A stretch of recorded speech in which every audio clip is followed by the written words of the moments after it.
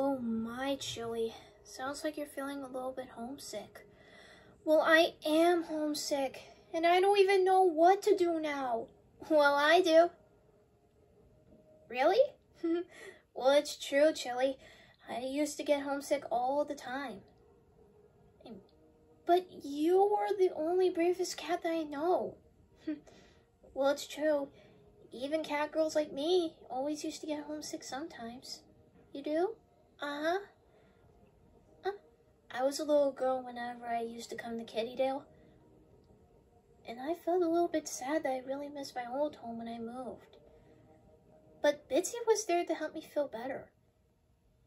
She did? Uh-huh. And whenever I really want to feel better, I sing this little song to help me remember all the times. And Bitsy taught me that when I was just a little girl. Really? Uh-huh.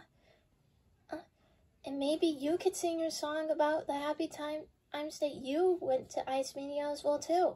Because home is in your heart. I remember climbing our tree. I remember sliding down the slide. I remember playing in the ball pit. Getting cuddles, feeling happy inside. I remember walking on fences. I remember chasing